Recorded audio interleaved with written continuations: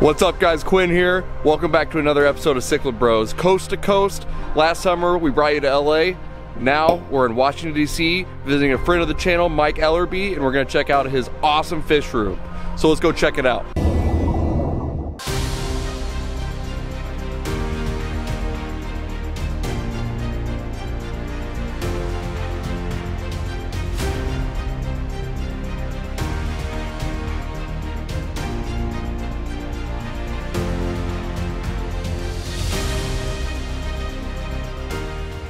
Okay, so we are starting off the fish room tour here where you have, it looks like four aquariums up on your first floor, and then we'll head down to the basement. Uh, Mike, you said this was called the military room, is that correct? That's right. Uh, well, so we call it the military room. One of my buddies called it the uh, the room of solace, Wh- whatever you want to call it. It's one of those rooms where, uh, like, we celebrate my family history. Like, uh, I've got my uncle Rennie on the wall here, who uh, passed away in 2001 in a helicopter crash, and then my father, grandfather, and my uncle, who are all on the wall on this one. This is a room that uh, originally had no fish tanks in it. We still had all this military decor in. Um, but adding the fish is just one of those places in our house that we definitely come in, sit down, and just uh, think about what what got us to where we are right now, and uh, um,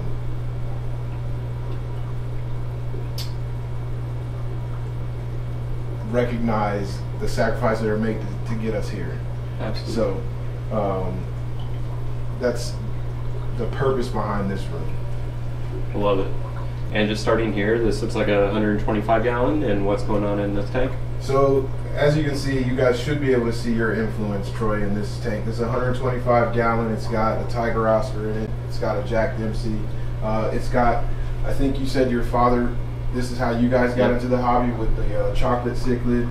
It's got the redhead Tapajos that you had in, I think it's your 150 gallon. Is that right? Mhm. Um, so a lot of what you had going in your 150 gallon tank, when I first got into the hobby, those were some of the fish that really intrigued me, um, which is why I put this together. My very first fish that I got outside of glowfish is this little convict cichlid right here, and that's kind of where all this started. Was her and a 55 gallon with two males. Um, so I really like the setup with the sand and the driftwood and rocks. It looks really cool. De- definitely looks uh, a little familiar to me. yeah, I told you. You guys have a, a, a huge influence in how I've put some of this stuff together. Then And moving on to this guy here. This one is the original 29 gallon tank. This is what started it all. Originally, we had five glowfish and a common pleco in here. Uh, since cichlids became my big thing, this tank kind of became one of those that my wife, when we would go to the fish store, she would say, hey, that's really cool. It's not a cichlid. So that's kind of what this became. It's got a couple Hillstream loaches in it. It's got uh, some yo-yo loaches, and then it's got some uh, two marble head standers and a lavender gourami. Yeah, it is nice to have a tank every now and then without cichlids, but uh, I like that the rest of yours do have cichlids. Yep. And one thing that all three of us noticed about all these aquariums is how clean and pristine they look. So props to you on that. It's not an easy job when you have so many aquariums. So you want to head over to these right here. Yeah, so these are these right here are my pet fish, and uh, one of them uh, I stayed within the Parachromis family because I like like Quinn has the uh, yellow jacket cichlid. My Parachromis is the red tiger moda. This is a male, so it doesn't have nearly as much color as the females do They like to get that bright yellow and red. This one is a more dull green and red, but he's a lot of fun because this this fish is very interactive. You come to the tank when he's ready to eat. He comes right up when he's ready to eat. Very interactive uh, and a lot of fun. This this guy right here is about a eight month old black nasty male. Uh, he also is a lot of fun, and what you'll notice is both of them tend to come to this corner and they kind of glass surf fight each other, which is is fun because when they do that, he'll color up. He'll get a lot of black. He'll get a black stripe right here that's really dark, um, and they're just fun to watch. But I know that here in the next couple months they'll have to uh, we'll have to upgrade their their tank as they're starting to outgrow these 55 gallons. Probably move them to something either a 90 uh, or something a little bit larger here in the next few months. Awesome. Yeah, these are beautiful fish. Pretty aggressive, so I like that you have them as solo fish in here. uh, you're really going to enjoy them as true pets. Yep. They definitely are. They're a lot like the Oscar. I mean, you come in the house, they'll come right up to the top when it's time to eat. They'll wag just like the Oscars wag. So they are definitely like wet pets, the definition. It's really cool to see these species and you know this size. Right. Uh, but there's way more to see if we go down to the basement. All right, so Troy took you guys through the upstairs fish room, the military room, so I got the honors to take you guys through some of the downstairs fish room tanks. Starting right here, as soon as you get downstairs, you got a couple breeding projects here. I African do. cichlids? I do African cichlids. So these are German red African cichlids. So what I have is these are all these are all the fry now baby fish. Uh, they're all starting to well they're hiding right now, but you're starting to be able to see a little bit of color in the males. Definitely the dominant males starting to see that that white stripe across the uh, dorsal fin with the egg spots. Uh, and then you have some of the subdominant males and females that it's a little bit more difficult to tell. Uh, we're going to let them grow out for another five, six months till I can truly vent them, uh, and then I'll separate them and I'll take them over to the fish store and, and let and let those guys. Which ones I don't give to friends and put in my own tank, I'll let those guys sell them. So Yeah, it's actually crazy. These guys are about probably less than two inches, and Yeah. you can really see some good color. They got some nice parents over here in the next one. yeah. So German red peacocks. Yeah, so he's hiding right now, but there in this tank, what I have is I have one German met, uh, German red male, and I have four females. Uh, they typically, I normally get a batch of fry about every once a month, once every couple months from one of the females, and I just pop them right over into this 40 gallon and grow them out. Um, but that is my first breeding project. It's been a lot of fun, and this is probably of all the African cichlids, my favorite with how much color that fish has. Um, looking forward to getting a couple of those into my display tank. Yeah, I was definitely going to ask you which one is your favorite, but this is kind of just the tip of the iceberg down here for your basement fish room. So you want to go see the big boys? Yep, go Let's see do it. Big boy. Man, this is what we made the trip for right here. This is what I wanted to see. For He's- you, maybe not us. Hey, he, like you said, he took influences from all of this. So this is kind of like Alex Corner right here. We got a big. How many gallons is this one? So this is 210 gallon. A big 210 gallon Hap and Peacock tank here, and a what 125 125. Mbuna tank here, and I am in love. These And I was just are- kidding. I love the Africans too. Uh, we got Troy on board as well. These tanks, like Troy said, the theme of these tanks is how clean they are. It's actually really quiet for a fish room as well, with all, so many tanks running. We got um, sponge filters, we got canister filters, we got hang-on backs, and you just can't really hear any of them. Great lighting, and all the fish are have grown really fast. Yeah. and colored up really fast, and they look great. Well, one thing that I took from you guys, and I know Troy's put out several videos about how you feed your fish, uh, but what I took from one of one of the many videos was that the most important thing when it comes to fish growth is the quality of the water. So what I do is I, I weekly I change at minimum 50% in every single tank. Most of the time with my larger tanks, I'm changing 80% of the water out. Um, I've got three filters on this tank, two FX6s and one FX4 on this tank. The FX4 is for polishing. Um, and so those are the takeaways. Some of the big takeaways I have from a lot of your videos is, is there's no such thing as overfiltration. Keeping the water as clean as I possibly can is going to help the growth and help the health of the fish. Um, and that's one of my main goals with this. This is my probably of all the tanks I have. Obviously, it's the biggest, so it's the one that I put the most um, the most work into. Is it your favorite tank? So I would say it's my favorite tank, but the African cichlid is not my favorite fish. Oh, I I understand. yeah yeah. I love the color. I love the the behavior of the fish. Um, but there are some fish like the Oscar, like the red tiger moto, like the black nasty, the red terror, that to me the behavior that they have with the inner personality, like. These obviously where you go, they go. Yeah. Um, but when you walk into the house and I go in the military room and the Oscar's wagging at the at the at the uh, top of the tank like a dog, that's very inviting. And when we talk about mental health and those types of things, we talk about service animals. Those are some of the benefits of having animals that show you that even if they don't feel, they at least look like they love you. So And I totally agree. And all of us being cichlid people with Cich Psyche and cichlid bros, I love the kind of differences between the different kinds of cichlids, like the different behaviors, the different personalities, and like the different pros and cons that you get with all of them, and you kind of get to experience it all down here. Yeah, I do, and I and that I'm not saying anything. I love this. I love this tank. I can get lost in this every single day. So It's like a moving painting. It is. So many colors. it's art. It is. yes, absolutely. And and part of one thing that I will say I enjoy probably the most about African cichlids was the aquascaping. Mhm. Like I love with the Mbunas, uh, what I did over here is I took some Texas Holy Rock and I used that as the foundation. So you've got all those cracks and crevices, and then I took lace rock and I built on top of the Texas Holy Rock so that there's plenty of hides, plenty of space. And what I've noticed with this aquarium is that like I get new babies, I get I mean, the, the growth and the life in this tank, the activity in this tank, um, both of these, I would say, in regards to the aquariums, are my favorite to watch as far as activity. Yeah, I mean, this thing is just such a living, breathing ecosystem. You got pothos on top, you got snails in there, you got different generations, you got, you said babies of all the different Yep. groups you have. Some Jalo Reef babies, uh, some uh, Saulosi, uh, some, uh, I forget the other, oh, uh, Red Top Hongi. So there is definitely something of everything in there. One thing that I definitely noticed about African cichlids is, especially more with the peacocks and haps, is you don't see a lot of two in my African cichlid tanks. Because what I've noticed is when I do put fish of the same type into this tank, it never works out well. Like when they look alike, I, there's a word for that. Um, Conspecific aggression. Conspecific aggression. And- Smart Alec. Yep. They call me Smart Alex. Yep.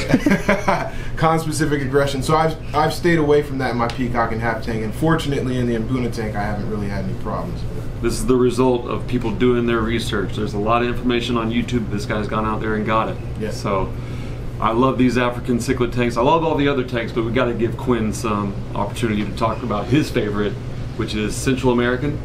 And that's you got a couple Central American tanks left, so I'll turn it over to him. Definitely. All right, so fun. Good start. he couldn't get one word. You almost choked to death. Jesus. so finally, the part of the video that you guys have all probably been waiting for. We're gonna check out the Central and South American cichlid tanks. Mike, what do we got here? So this is a 60 gallon tank. This one also is one of those tanks that eventually I'm definitely going to have to get these guys in something a little bit bigger. But what we have here is I bought this fish from my local fish store and it was sold to me as a trimac. I'm not sure that it's a trimac. When I look at it, and I, what I see is I see more Vieja of some kind than I do anything else. I would agree. It looks like a Vieja black belt potentially. Potentially. So I know what it was sold to me as as it got as it grew because I bought it when it was about this size. Mm-hmm. As it's gotten bigger, I know Trimacs typically have the red eyes, the yellow bodies. So I'm pretty sure we have some type of hybrid here. This fish here is a, a black belt cichlid, and that is fast becoming one of my favorite with how it has that blue reflective. It's got the pinkish. It's got a lot of color in that fish. It's beautiful. Absolutely. Uh, this little guy, as it gets older, this is a uh, Vieja breidohri, and it also, as it gets older, will display a lot of color, a lot of pinks and blues. Be a really pretty fish when it gets uh, when it gets to its biggest size. Has the size difference of uh, of these fish been any issue, or they pretty respectful of each other? No, so they have grown respectful of each other. They're, I think, at the size and at the tank capacity where they're getting a little bit uh, more aggressive towards each other. So definitely going to have to take a look at probably separating them within the Mhm. next couple weeks, making sure that they get the right space. I think that's probably the biggest issue right now. It's one of the benefits of having multiple tank syndrome is you have flexibility where you can move some fish around to try to get them their best suited environment there. Absolutely. I think the other thing is, um, I also have a local fish store who is very open to taking fish and getting the, taking those fish off your hands um, and getting them relocated to, to homes that are going to take good care of them. So um, definitely, definitely do enjoy having multiple tanks so I can move them around. Absolutely. Uh, this behind me, we have two of the uh, yellow severums uh, and two baby true green terrors. So I'm looking forward to the growth of these green terrors. These two, uh, I want to say, are a mated pair. They lay eggs like every month, uh, but I never get any fry. So they fight and they lip, lock lips, and uh, you can see this one here has uh, got nip fins because they just are constantly at each other. Uh, but I, I'm yet to have any babies. I love the the baby true green terrors right there. Uh, me and Mike were talking a little earlier, and that's one of our absolute fa- favorite fish in common. Yeah. Um, so really excited to see kind of what those fish ended up uh, becoming. Yeah, me too. And then if you come over here, this is a 125 gallon, and again, you'll see a lot of you guys' uh, influence on this tank. I have a large electric blue car there. Um, the green terror, which what we just talked about, the gold saum green terror, um, that is the fish that hooked me in the hobby. When I watched y'all's video and I saw the big green terror that you all had in your Yep. tank, uh, I love the color. And then there are times at night where you have like a blue when you have like a bluish light on in here and they just light up and that orange glows. It's Yep. really fun to watch. Seeing this gold saum here, um, I'm inspired. We're getting some green terrors in the classroom coming soon. So we also have uh, two uh, red shoulder severums. Uh, one of them is kind of beat up right there.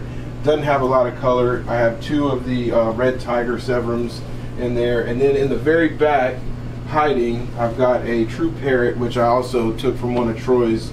Uh, I understand that you no longer have your true parrot, but the influence is from you. So Still love it. Yep, it's one of my favorite fish in this tank. And then uh, that is my uh, Wild Colombian Oscar.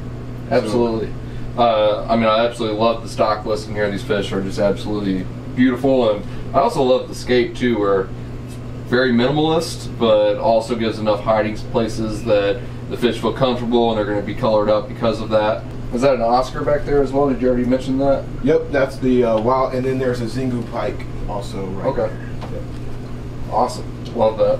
And then in this tank, um, again, this uh, Vieja synspilum is one of those that here shortly we're probably going to have to move. We've grown him to, I think he needs to get ready to go to a 125, but this, the stocking in this tank is minimal, so he there's not a lot of, um, he- doesn't have a lot of issues. This has two clown loaches in it. It's got the Vieja synspilum.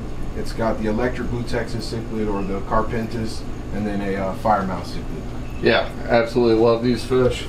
And then, I mean, this can't help but think that this looks eerily sim- similar to Troy's first 75 gallon with the the peppered sand and uh, kind of the colors of the decor there. And This was one of my first 75 gallon Okay. tanks. So when I came down here, this 125 was a 75 gallon, and this was a 75 gallon. Those were two of the first ones I had.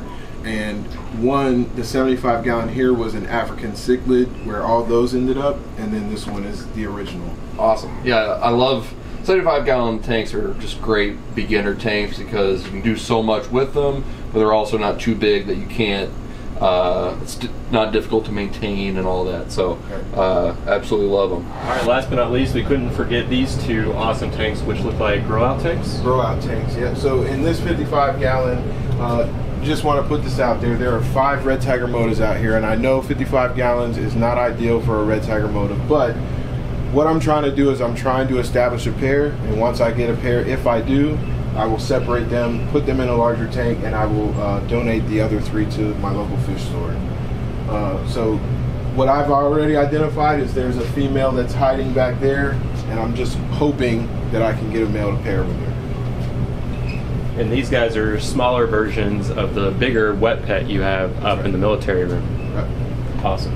And then what's going on in the other tank here? So this is also, uh, and I, I'm almost getting to the point where I'm, I don't want to say giving up, but what I'm, I'm trying to do something similar here with the red terrors is I have three red terrors in this tank. I'm trying to get a pair, and I'm hoping, I know this is a male, and I'm hoping that one of these two is a female, and I can get a pair and start another breeding project as well. And I love red terrors. I've considered getting them for a while. The females get bright red and look stunning, and then the males get huge. Yep. It's really uh, an awesome fish. These guys are still young, so they don't have a ton of that color yet, but just wait. Oh, they will. Like I had, like I said, I had one that unfortunately had, didn't make it, and it was about eight inches, and it was, I mean, it was a male, and for a male, it was colored up. Uh, so I'm, I'm, I'm looking forward to hopefully getting at least one female. This is the fish that inspired Cich Psyche. So it's a perfect tank and fish to highlight at the end here. Yep. So I think one of the best parts about having an online fish community is inspiring each other and reaching out and developing relationships. And Mike, your fish room is completely inspiring. I think I'm going to order some new fish on my way home from here. And I just love everything you've done from the military room down to the basement with all the themes of the tanks and how clean they are. Everything looks great. So thank you so much for having us. Oh, thank you guys for coming. It means a whole lot. And also, thank you for sharing your story in the previous video, which we'll link down in the description below. Just your whole background and what really brought these aquariums down here and the whole setup and process you went through. So, really appreciate it. Like Alex said, awesome fish room, and thanks again. Thank you guys. Thank you guys for coming. I appreciate you.